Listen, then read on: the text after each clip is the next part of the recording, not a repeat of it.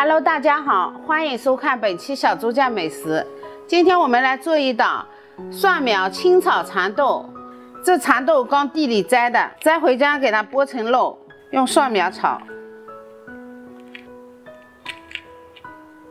把蚕豆清洗干净，沥干水分。蒜苗已经切成段，也清洗干净了。锅内倒油，等油热的时候下入蚕豆。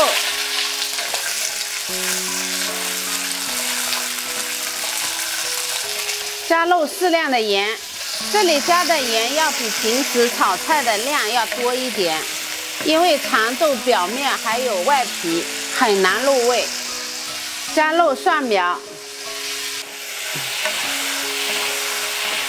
倒适量的清水，盖上盖子，稍微焖煮一会儿。现在可以打开盖子，收汁就可以出锅了。煮到锅内汤汁不是很多，蚕豆熟了，表皮裂开，可以关火出锅。